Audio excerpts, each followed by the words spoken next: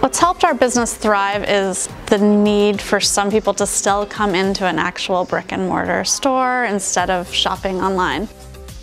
I think what sets the Mid Wilshire district apart is that it has a, a very diverse and ethnic and everything kind of center of a city. There's just a little bit of everything food-wise, like you know, we're not too far from like Little Ethiopia, from Koreatown, from Thai Town. We're just kind of so central and it's easy for a lot of people to get to work from this area. What I think makes this an irreplaceable staple of the Mid-Wilshire community is that we have a beautiful array of products based on what we love as buyers and then also this amazing space that we can utilize in so many ways. Birthday parties and events and having the Bob Baker Marionette Theater here. I think that's really unique and I love it.